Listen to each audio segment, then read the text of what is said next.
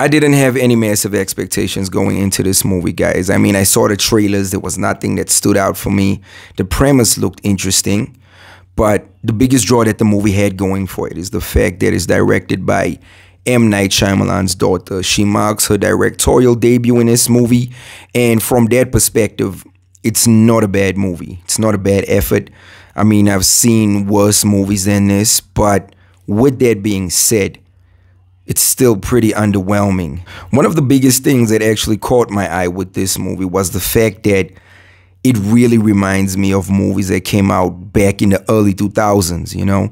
It has that visual aspect. It looks like one of those movies and you can definitely tell where she draws her inspiration from. This definitely looks like one of her dad's movies and that's not necessarily a bad thing, but I think when it comes to carving out your own lane, you need to take risks and you need to come with something different, something that will make you stand on your own as a director. The fact that it reminds me of old movies. I mean, it's crazy, guys. I don't know if you watched this movie and you got that same vibe from the movie.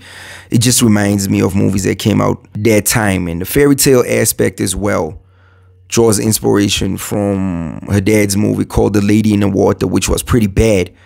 But I'm not here to talk about her dad's movies. It's just that the look of the movie I found pretty interesting. The fact that it feels like it's stuck in a era. That's one thing I got from the movie. Now, when we dive into the story, Dakota Fanning plays Mina. Now, Mina resides in Ireland. You know, she's living a life there, small town. She even has this thing where she dresses up at night, different personality they don't even branch into that. They don't even go into that, which is very weird. Now she gets sent on an errand by her boss. Car stops in the middle of the woods. It's not starting. Let's go see what's it. Why do you always go into the woods? Like I mean, just stay on the road.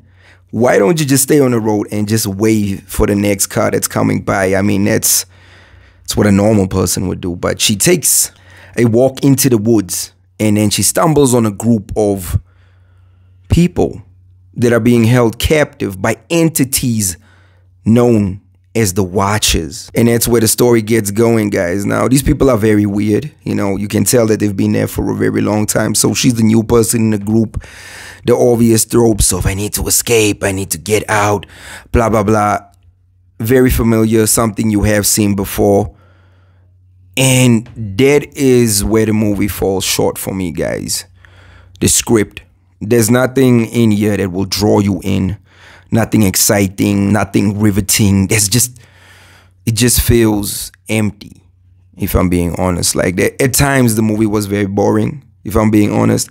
I didn't have uh, any hesitation to whip out my phone and just go to through social media because man, you know, the pacing the pacing of this movie is horrible. That is the biggest issue that I have with this movie. Like, if it was a little snappier, if there was a little bit of intensity, you know, I'm sure it would have it would have went down better than it did. But the snail pace of the movie is just horrible. I mean, for a movie that's called The Watchers, it certainly didn't do a very good job at keeping me watching. You know, the story itself, it's it dives into folklore and fairy tale stuff and I don't know guys like like I said the movie feels dated. Feels very dated. It feels like a movie that should have come out in that era and if it did it would have done well. But in the modern climate I can see why people absolutely slaughtered this movie you know and I'm actually happy that I waited for digital I I would have felt like I wasted my money if, if I had gone to the cinema to watch this. Now, another problem that I have with the movie is the VFX, guys. Oh my word. The VFX is terrible. Terrible. Terrible. Terrible. Now the watchers, the entities that I was talking about, they are CGI. I actually think that practical effects would have worked better in this case. You know, if they had gone with practical effects, it would have added a little more depth, weight to the movie. But the CGI is just bad, guys. I mean, coming off of a movie like Kingdom of the Planet of the Apes and you watch this and you have a look, it just it doesn't even blend in well with reality. It's that bad. CGI from the early 2000s. It's horrible, guys. And that is where the movie for me just doesn't work, man. Now, with all that being said, a positive aspect about the movie that I can talk about is the fact that I like the eerie and moody atmosphere that the movie creates. That the movie does brilliantly by creating an atmosphere, this woods and the visual look of that. But the VFX, the VFX just let the movie down completely because from that aspect, it could have worked, could have made it entertaining. But even with that being said, guys, the script is what lets the movie down. You know, pacing and the script. It's horrible. It's terrible. And it's based on a book that came out in 2022 by A.M. Shine. I don't know the book. But for a movie to be based on a novel that came out recently, it's, a bit of a weird one. Now, from an acting perspective, I feel like the only person that stands out here is Dakota Fanning. I'm actually happy to see her in a movie again. It's been a while. I mean, she's been in some of my favorite movies, Man on Fire, starring her opposite Denzel Washington. Brilliant. Brilliant. And to see her come back and, you know, carry a movie is great. Unfortunately, your acting is only as good as the script, and the script is lackluster. The rest of the actors, they do a decent job, but there's nothing there's nothing gripping here, guys. There's nothing that stands out. And I mean, this is a supernatural horror. There's nothing horrific about it. There wasn't even one instance where it was like, you know, that never happened. So from that aspect, the movie just falls flat. And it's a bit of a weird one, guys. You know, I understand that she draws inspiration from a dad, but I think this is the point in her career where she should actually take a risk.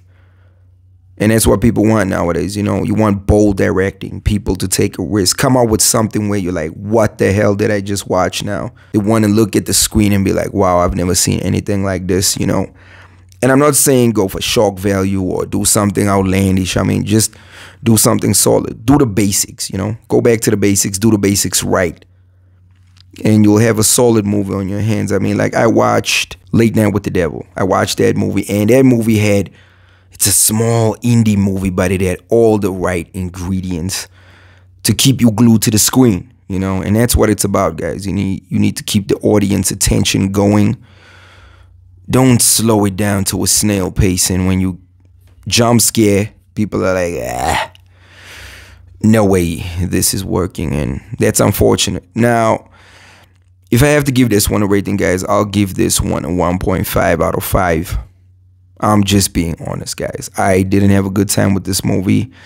I didn't enjoy it. It's very forgettable.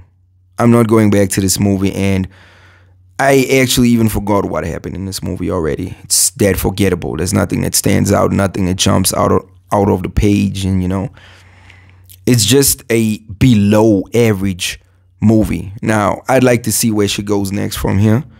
I'm a massive fan of a dad, and there's definitely potential here if you watch the movie. Like it's not all bad, you know. If you look at it from a directorial debut perspective, there's definitely elements here that if she, you know, focuses on those elements and you know get a, gets a better script, she can definitely go places, guys. And I believe that her next movie she will learn from her mistakes, obvious mistakes that happen in this movie. Now, please let me know what you guys think about the watchers.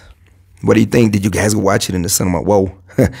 I'm glad I didn't go watch this in the cinema. I I almost did.